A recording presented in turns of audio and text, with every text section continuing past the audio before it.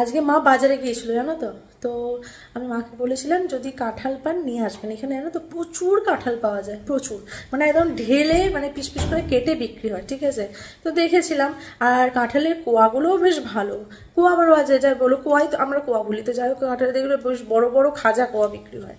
তো দেখে বেশ লোভ লাগে। তো আগের বারেও মানে আমরা তো আগের বারে এখানে এসেছি টেনালিতে তো আগের বারে জিনিসপত্র গোছাতে আর করতে সমস্ত কিছু সব ঠিকঠাক করতে বুঝতেই পারে একটা ট্রান্সফারের পরে মানে কি হয় অবস্থাটা, পুরো সংসারটাকে একটা গোছাতে গেলে।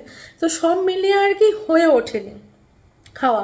আবার তার তা ওইটা খাওয়া হয়ে ওঠেনি, তারা তাও আবার কি মানে একবার বাড়ি গিয়েছিলাম, বাড়ি গিয়ে কাঁঠাল খেয়ে এসেছিলাম। কাঁঠাল আর মোটামুটি লিচু সবই মোটামুটি খেয়ে এসেছিলাম, যেন অতটা টান ছিল না।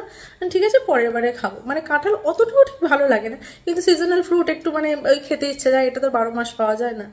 তো যাই হোক, এখানে আবার মোটামুটি ধরতে গেলে পাওয়া যায়, কিন্তু সেরকম টেস্ট থাকে না। এই সময়টা কাঁঠালের সিজন এটা ভালো বেশ।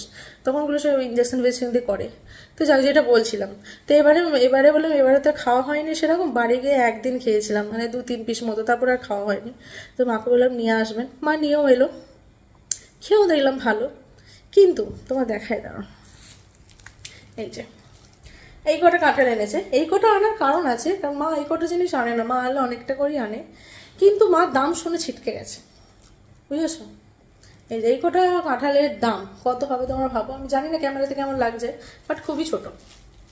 একটা ছোট্ট প্যাকেটের মধ্যে আট পিস আট ন পিস মতো আছে, ঠিক আছে? তো এটার দাম কত জানো? এটার দাম হচ্ছে পঞ্চাশ টাকা। কাঁঠালে।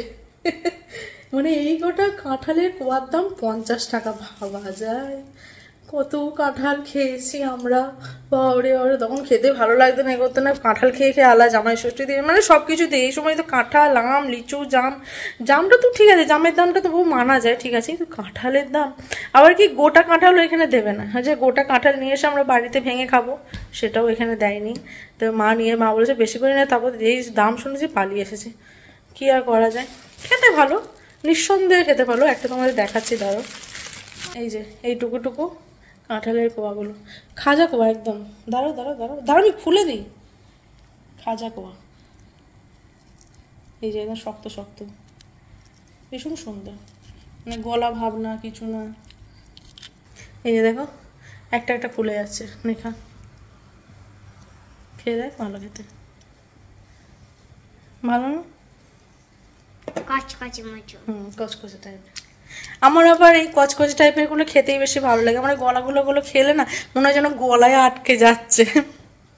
তো কী করব? দাম শুনে অবাক হলেও কিছু করার নেই। মানে পাওয়া যাচ্ছে, এটাই বড় কথা।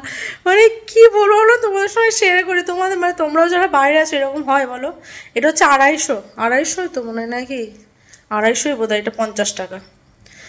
কি অবস্থা? উফ। কি দাম? মানে মানে বাইরে না এলে বুঝতেই পারতাম না যে জিনিসপত্র মানে আমরা যে জিনিসগুলো খাই বাইরে এসে এত দাম হয়। খেতে ভালো। এটা গোটা দেয় না। কেন দেয় না? গোটা আমি যদি কিনে নিয়ে আসি অসুবিধা কি? ভালো লাগছে খেতে? হুম?